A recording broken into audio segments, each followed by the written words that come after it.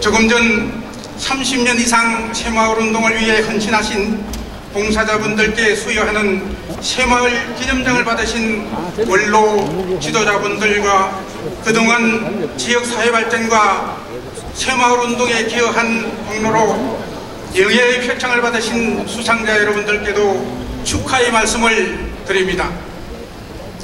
새마을 가족 여러분, 우리는 49년 전 근면 자조 협동의 새마을 깃발 아래 모두가 한 마음 한 뜻으로 할 수 있다고 하는 자신감을 바탕으로 농촌의 빈곤 탈출을 넘어 대한민국 번영의 밑거름을 일구어 냈습니다. 그리고 현재 세계 150여 개 개발도상 국가에 새마을 운동의 성공 경험 전수를 통한 지구촌 평화 나눔 운동을 실천함으로써 한국의 위상을 높이는 자랑스러운 세계 유산으로 발돋움하기까지 온 반세기가 흘렀습니다.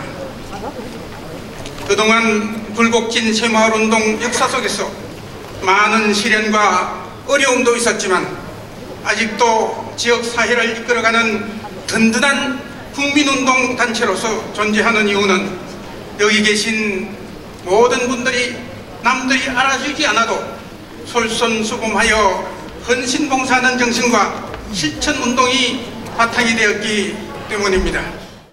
저희 새마을 운동은 50년, 49년 전에 어, 절대 빈곤에서 벗어나기 위해서 온 국민의 뜻을 한 군데로 모아가지고 일어섰던 국민운동입니다. 이 운동을 통해서 우리 농촌이 가난에서 극복하기도 했지만 우리나라 경제가 오늘 이렇게 성장하는 미끄럼을 이룰 수 있었다고 생각합니다. 예, 저는 당시에 우리 새마을 선배들이 어떤 마음으로 이 운동에 임했겠는가를 되새겨 봅니다. 어, 5천년 찢어지는 절대 가난을 다시는 자식들에게 자손들에게 되물림하지 않겠다는 마음속에 각오들이 있었던 게 아닌가 생각합니다. 지금 오늘 이 자리에 모인 우리 새마을 가족들은 앞으로 어떤 나라를 어떤 세상을 우리 자손들에게 물려줄 것인가를 다시 한번 생각하는 자리가 됐으면 좋겠습니다. 작년 그 6월 11일 우리 새마을 운동은 생명 평화 운동으로 새로운 그 방향을 결정을 하고 생명 살림 운동, 평화 나눔 운동, 공정 문화 운동으로 나아가고 있습니다. 오늘 올해가 그 대전환의 원년이 되고 있습니다. 올해 새로운 실천을 통해서 그 우리 새마을 운동이 거듭나서 내년 50주년에는 지난 50년을 우리가 제대로 그 평가 완성하고 새로운 50년으로 나아갈 그 빗걸음을 만드는 그런 자리가 되었으면 좋겠습니다. 새마을 운동이 시작된 지 이제 내년으로 반세기입니다. 또 그것을 또 특별하게 새마을에 날을 제정해서 우리가 이렇게 함께 모여서 기리고 또 격려하고 응원하고 이렇게 하고 있습니다. 오늘 바로 그 날입니다. 바로 여러분들의 날입니다. 우선 축하의 말씀을 드리고 오늘 우리가 대전환을 위한 변화 이거이 우리 주제입니다. 지금 우리 대한민국도 대구 경북도 전환의 시기에 있습니다. 지난 새마을 운동을 중심으로 우리는 대한민국을 일으켰습니다. 그리고 우리는 희생했고 헌신했습니다.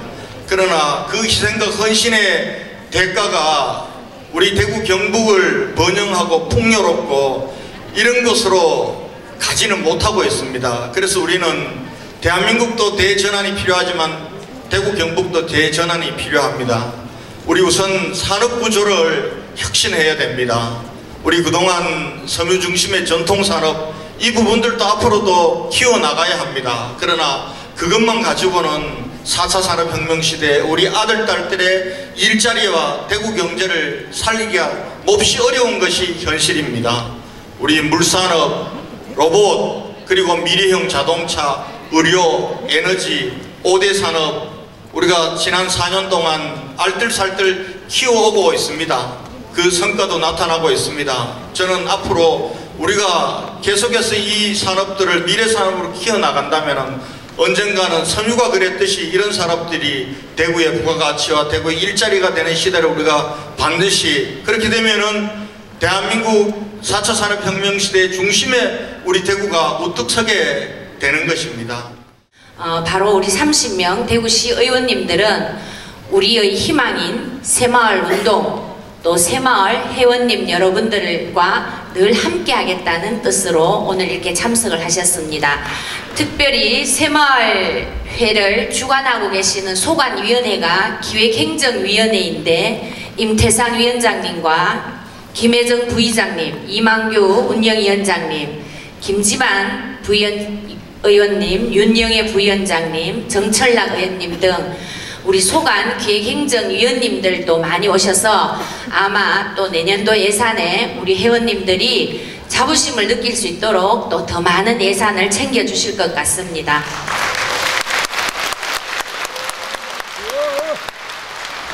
오늘 함께 하신 우리 곽대원 국회의원님과 윤재욱 국회의원님께도 감사를 드리며 어, 조재구 청장님을 비롯한 우리 8개 구군 구청장님과 동구 의장님을 비롯한 우리 8개 구군의 의장님들과도 힘을 합쳐서 우리 대구광역시 의회는 새마을 녹색 깃발을 우리의 희망의 상징으로 여기고 새로운 50년의 출발을 힘차게 응원하겠습니다. 감사합니다. 우리 대구가 새마을 운동의 중심지 역할을 오랫동안 해왔고 또 앞으로 지나온 50년과 앞으로 50년이 더욱 대구를 통해서 빛날 것으로 기대합니다. 맞지요? 네. 오늘 행사를 준비해 주신 김홍열 회장님, 멀리서 찾아와 주신 이명식 사무총장님 감사드립니다. 그리고 시장님, 의장님, 그리고 각대원 의원님, 윤재욱 의원님 감사드립니다. 우리 시의회에서도 함께 해주셨는데 고맙습니다. 8개 국군 청장님께도 감사드립니다. 어, 저는 대구시 교육을 책임지고 있기 때문에 우리 새마을 운동이 정말 49년 전에 1970년 4월 22일 새마을 운동이 재창되어서 대한민국을 얼마나 발전시키고 그리고 앞으로 새마을 정신이 또 우리 학생들과 함께 앞으로의 대한민국을 잘 이끌어 갈 것으로 저는 믿습니다. 새마을 운동은 희망입니다. 저도 그렇게 생각합니다. 우리 아이들에게 새마을 운동 교육을 잘 시켜서 앞으로 다가올 50년을 잘 준비하도록 하겠습니다. 오늘 수상하신 모든 분들께 진심으로 축하드리며 새마을 운동이 앞으로도 더욱 건성하고 발전하기를 기원드립니다.